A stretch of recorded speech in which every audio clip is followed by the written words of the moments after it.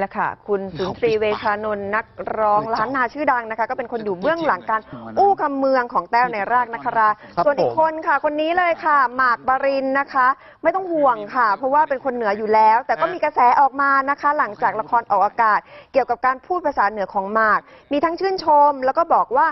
ยังดูไม่สุด เพราะว่าหมากเองเป็นคนเหนือจริง ๆ มีสำเนียงแปลกๆบ้าง เจ้าตัวบอกว่าที่ได้ยินเนี่ยคือตั้งใจค่ะ ที่จะพูดให้สำเนียงออกกลางๆเอาไว้ อ๋อ เพราะว่าเหนือในแต่ละจังหวัดเนี่ยเขาก็ไม่เหมือนกัน หากเข้าฉากกับคนอื่น เดี๋ยวมันจะดูโดดไป อ๋อ ก็เลยปรับสำเนียงให้ไม่เหนือจนเกินไป ที่จะคอยต้อนรับ เราก็พยายามพูดให้มัน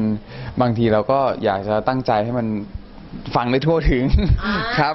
ครับผมก็ก็เลยก็เลยทำให้มันกลางๆเข้าไว้ เพราะว่าถ้ามันโดดไปจากคนอื่นมันก็มันก็เดี๋ยวมันจะโดดไปครับ ผมก็เลยพยายามให้มันพูดให้มันกลางๆเข้าไว้ดีกว่า จริง ๆ ผมเป็นคนเหนือจริงนะ แต่ผมก็ไปอยู่ที่ลำปางอะไรอย่างเงี้ยไปก็ไปโตที่ลำปางก็จะเหนือคนละแบบกัน เราก็เลยแบบเออบางทีเราก็ผสมผสมครับ ผมเป็นลูกครึ่ง โอ้โห